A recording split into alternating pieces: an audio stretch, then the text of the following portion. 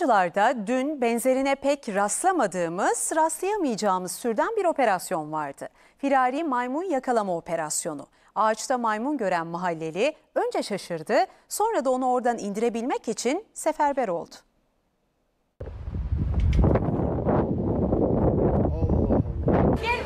Abla en tepede bak en tepede. Gel gel muz getirdim annem. Sokak sokak gezdi, daldan dala atladı. Tam bir ağaçta soluklanmaya karar vermişti ki mahalleliye yakalandı. Gel gel muz var gel. Firari maymunu yakalamak için kimi muz uzattı,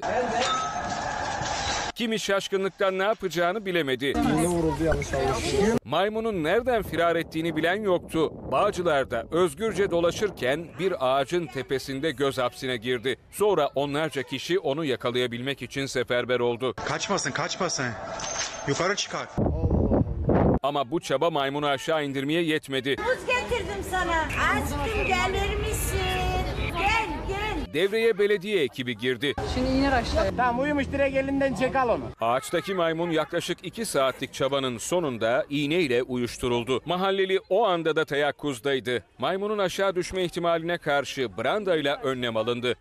Evet tamam çok güzel. Dedim ay ne güzel ya. Ay çok Ha bak şey bu, buradan vurmuşlardı.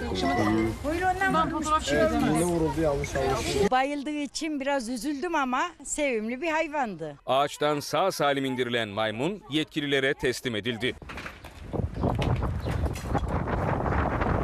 Doğa Koruma Milli Parklar geliyormuş zaten. Bunları direkt teslim edeceğiz.